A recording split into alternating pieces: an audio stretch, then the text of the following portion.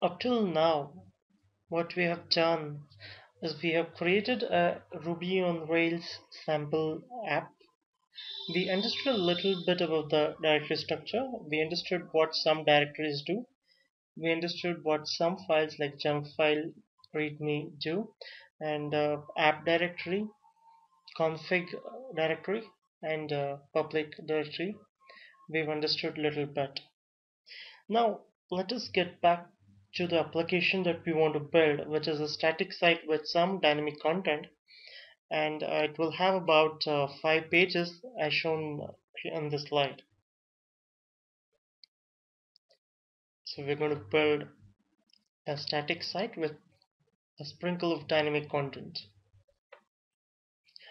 To do that uh, we need to st start by executing this particular command on the console you have so it's Rails generate controller pages home about. So we're going to do a Rails generate controller. We'll understand what a controller is later.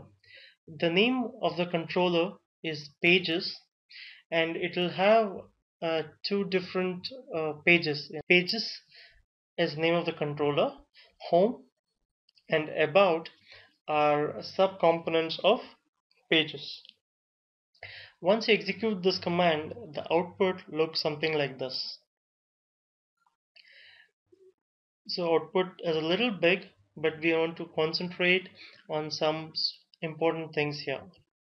What the command does is it creates a file called as pages underscore controller.rb. What .rb means is that it's a Ruby file.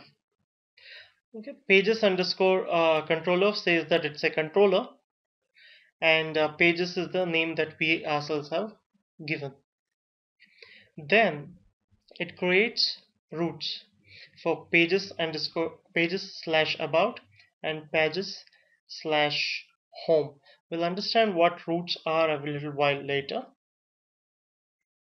And then it creates views uh, simply HTML files with an additional .erb extension.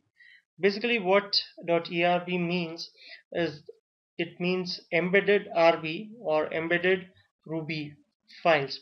Uh, it allows you to execute Ruby code inside HTML files. We will look at it detail in the next one.